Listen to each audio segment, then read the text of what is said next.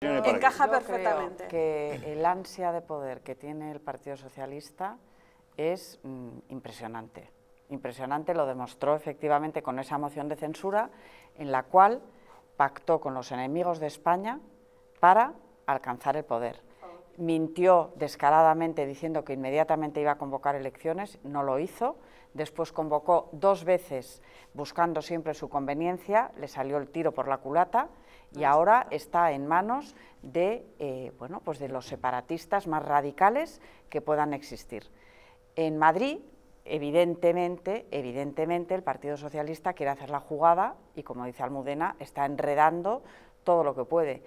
Yo, sinceramente, creo que tanto por parte del Partido Socialista como por parte del Partido Popular, si uno eh, mm, convoca o, propone la moción de censura y la otra eh, convoca elecciones, están traicionando los intereses de los madrileños, porque hoy por hoy todos los esfuerzos hay que ponerlos en gestionar lo mejor posible la situación tan grave que estamos viviendo en este momento. ¿Sabes lo que pasa, Ana? Que la gestión es cuando